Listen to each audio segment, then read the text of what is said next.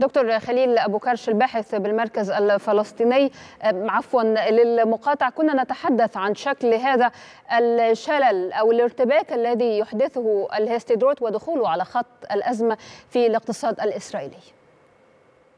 نعم بالتأكيد هذا النوع من الإضرابات وهذا النوع من التعبير عن الرأي عبر شكل من أشكال الإضراب وشل الاقتصاد بالتأكيد هو مؤثر خاصة أن هذا الإضراب لا يأتي في سياقات إسرائيلية داخلية إنما يأتي في سياق حرب وهذه السياقات المرتبطة بالحرب لها انعكاسات وتأثير خاصة أن الضغوط التي تمارس على الحكومة في إسرائيل لم تفلح لغاية الآن أن تتغير هذه الحكومة من توجهاتها ورؤيتها لكل هذا المشهد والذهاب نحو صفقة.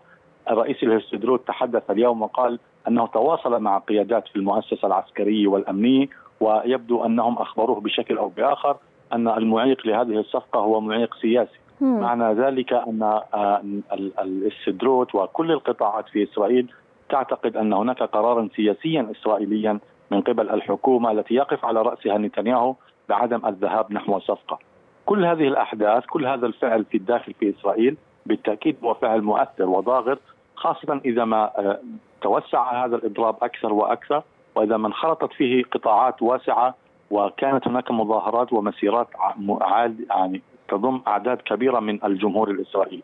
هذا مؤثر هذا فاعل هذا سيكون نقطة تحول مهمة إذا ما ذهبت هذه الأعداد باتجاه مطالب واضحة وهي الصفقة واستعادة الأسرى.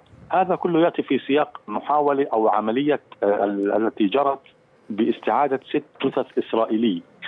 وبالتالي يريد الأسرى الأهالي المختطفين أن يعود أبنائهم على قيد الحياة ولا يريد أن يعودوا كجثث المقاربة التي تستعملها الحكومة الإسرائيلية وهي مقاربة لا تقود إلى إعادتهم على قيد الحياة. بمعنى أنها تستعمل مقاربة مبنية على القوة والضغط العسكري وأنه فقط بهذه الأدوات يمكن أن يعود هؤلاء إلى عائلاتهم.